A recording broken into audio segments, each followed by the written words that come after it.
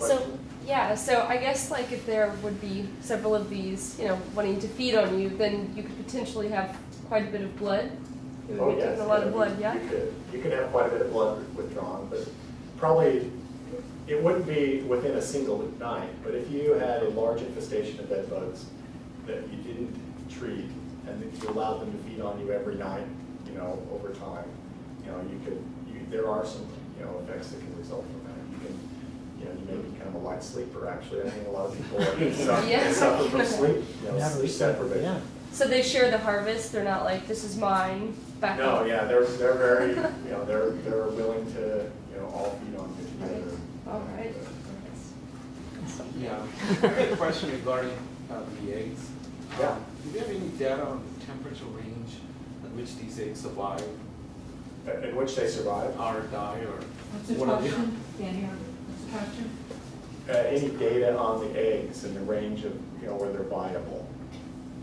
Um, The eggs, the eggs, uh, I, I don't have any specific figures, but, um, so I'd just be hazarding a guess. But they're gonna, but they're gonna hatch anywhere between about forty-five degrees, which is their minimum active temperature.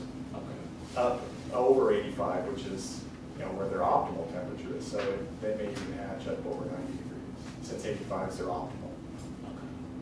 So it, it's quite a wide range. It's not a very narrow range. And so the specifics might be a little bit different, but it, it is quite a wide range, probably from around 45 even up to 90. So do they lay these eggs in clusters, you know, like? Can you repeat that? uh, Do Do they they lay lay this in, do they lay? Yeah, they let the eggs in clusters, Clusters, like, uh, clusters of about 10. they don't lay like one here, one there? Uh, Well, there's no real general, generally it's clusters. They still could lay, you know, one over here and a few over here, but generally they like to lay them in clusters. But if they're disturbed or something that they move, then they would, you know, they would still lay them. They wouldn't necessarily go back to that other. So they don't have to lay in clusters, even though that's general. Any other questions? Yes? Do they glue them down? Yes, the eggs are sticky. So uh, they come out with a coating that's already sticky. So they, wherever they're dropped, they, they stick to that substrate. You're mentioning that they're sticky, and you showed that example of them when, uh, on the luggage. Yeah. Does that happen to people? And then also too, does it have, well, do they stick to the people in the house and then they walk around with them and? They're gonna dry, you know, eventually, it's, it's not something that stays sticky. It's sticky when they're laid and they adhere to the substrate and then, and then that stickiness dries. over So the time. scare stories that you read in, uh, in the journalists writing are maybe exaggerated? That they're sticking to people's bodies and they're. And walk into the lobby of the hotel and everybody in the hotel is infected. Oh, yeah, that's, that's not very, yeah, that's not very likely. What was, I'm sorry, I can't hear. What was the question, the answer? Whether people are walking around carrying eggs on their bodies. Just Sort of in lying hotel somewhere lobbies and yeah. things like that, yeah. Now, if you have, if you have clothing, for example, I mean, if you, if you have clothing and it's in a drawer and the bed bugs are in the drawer and they laid eggs on the clothing and it's stuck to those fibers, then, you know, you take out your t-shirt, put it on and walk around and sure, you can, you know, it's, it's possible people can have bed bug eggs on their clothing, but it's not because, you know, it was laid on the clothing on the person or because, you know, you're wearing it around and you're brushing against something typically and pick it up that way. It's usually the eggs being deposited there by the female, which is, Yeah, I've been reading that, I, I, like children's schools, that they Yeah. all hang up their coats in the same little nooks, that, Yeah. uh, you know, if the eggs are on one, yes, the adhesive factor can, you know, Yeah. exchange it to the next kid's clothing. yeah. And, uh, When the bed bug finds a host, if his maximum space, the travel time to travel is 10, 20 feet, he's just gonna look for a crack in the bed, it's wood or papers laying around the bed, but he's not gonna go far then if he finds a host. Is that, is that a Right. assumption? And that, They're gonna find the first available host, is and that they come out as soon as it gets dark, basically? So, Not as, well, they typically come out in the middle of the night.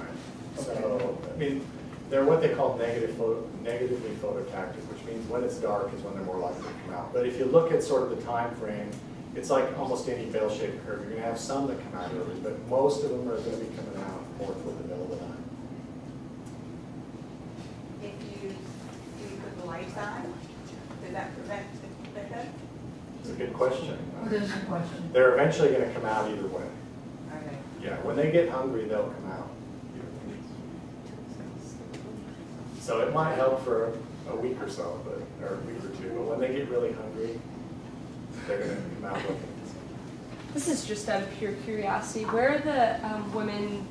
Where does the little sticky larva come out of? Is it coming out of that little Okay. cut in the side of them that we were talking about? The female? Yeah. Where do the eggs come out? Oh, Right. she lays the eggs out of the tip of the abdomen.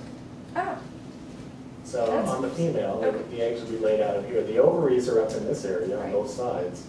And so the sperm is deposited here and goes into the ovaries directly, but then they lay the eggs, they still come out through the genital tract. Great questions. All right.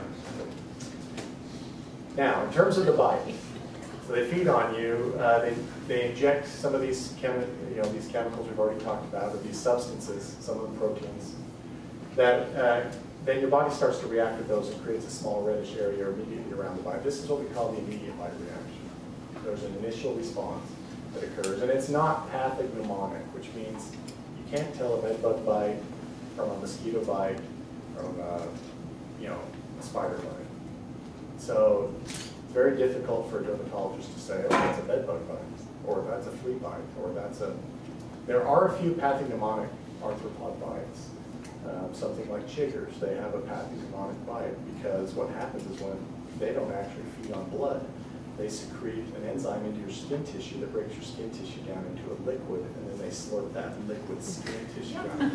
And so, and then when, when you scratch them off, that liquid skin tissue hardens into a cap. But that enzyme is still inside, and so when you scratch the cap, then it oozes again, a clear liquid, and then it forms another cap. Then- So that chigger bites can be pathognomonic based on that oozing or that clear liquid. But a lot of other arthropod bites are generalized, and they don't have a distinctiveness about them initially. Question or comment? You specifically mentioned that uh, dermatologists would have a hard time recognizing them. Does that mean that a general practitioner could easily miss them altogether? And Right. I think, uh, at least Go the to a dermatologists specialist? that I've talked to about this, they, you know, they say generally it's an arthropod bite, most of them are pretty safe. Very few of them will say that's definitely a, you know, bed bug. Unless, there are a few things that you, that you can tell, and this is what I'm saying, that's why it says not by themselves. Now, a dermatologist or even someone who's not a dermatologist may be able to identify bed bug bites by another feature, which is that they're often found in clusters or rows. And so it's not the individual bite that's, that looks anything different than one of these other types of arthropod bites. It's actually the way they're, the way they're placed on the body. And so a dermatologist very well and very easily might be able to say it based on the pattern of bites and where they're at on the body, because uh, bed bug bites are typically up on the arms, the limbs, arms and legs, perhaps on the shoulders, the face, is that typical? very rarely on the midsection in these areas of the groin, because that's usually what's covered up when they're sleeping. Is that typical or exaggerated? This one or this one? Or both? The one closer to On the you, right. or both? Uh, This is a, a little bit more of an extreme case, just to show the, the- Okay. just to show that they have, you know, they, they come in lines of three, one, two, three, one, two, three, one, two, three. Not always three, it could be four, it could be, but typically they, they will bite and move, bite, move, bite. And so you get these lines that are more diagnostic of a bed bug bite rather than just a single bite itself. So the line is from a single bug? Yes. I thought I might get bed bugs over the internet, Yeah. and it mentioned the three, and called it breakfast, lunch, and dinner. Great. Breakfast, lunch, and dinner. So here's, well, it depends on which way they go, I guess, breakfast, lunch, dinner, one way or the other. And unless you're Taco Bell, right, you got a fourth meal somewhere.